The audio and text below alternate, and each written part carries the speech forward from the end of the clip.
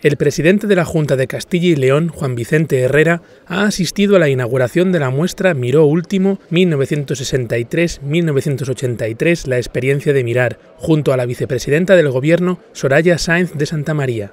La Catedral de Burgos acoge las últimas obras del artista catalán hasta el 8 de enero.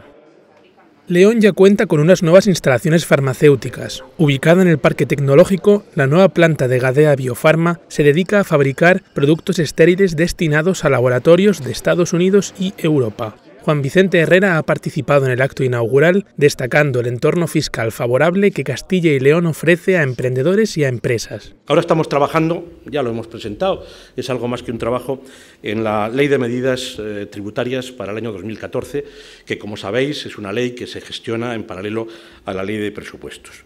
Pues bien, hoy es una buena mañana para recordaros que esa eh, Ley de Medidas 2014 va a contener cinco nuevos beneficios fiscales dirigidos en ayuda de los emprendedores y en estímulo de la I de.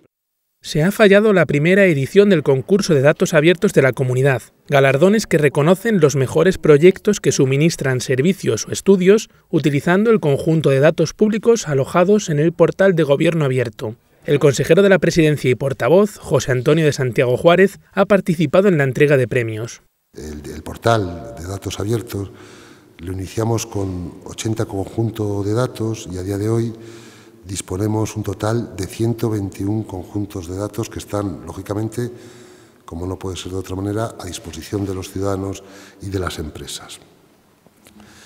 Y para fomentar la utilización de este conjunto de datos, pusimos en marcha el concurso de datos abiertos.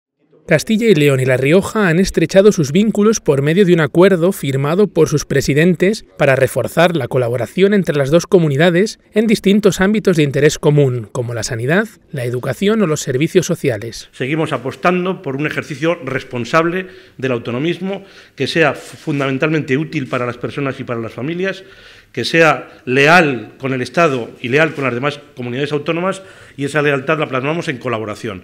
Hoy hacemos un ejercicio, yo creo que de normalidad democrática, trabajamos, damos continuidad, revisamos lo actuado hasta este momento y nos planteamos mayores retos para el futuro. Tras la reunión, el presidente de la Junta de Castilla y León, Juan Vicente Herrera, y el del Gobierno de La Rioja, Pedro Sanz, han visitado la exposición de La Rioja Tierra Abierta 2013, Aro, Luces de la Modernidad.